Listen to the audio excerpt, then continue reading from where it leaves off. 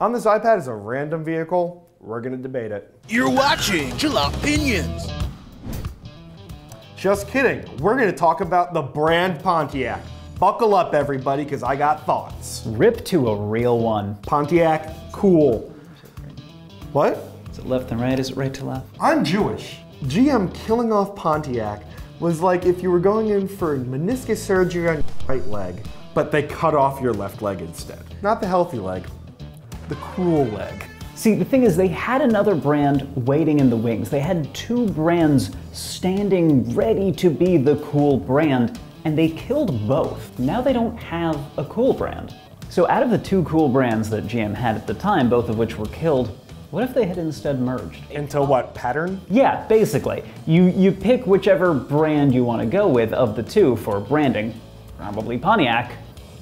What would that look like? That would have just been a Pontiac G6, but made out of plastic. See, I'm thinking early Saturn, when things were unique, they were not shared with the other GM models. That plus Pontiac, that could have Well, been it could have something been cool. really Couldn't we- interesting. a performance electric brand, Pontiac? Yeah, Pontiac? Pon- Pontiviac. Pontiviac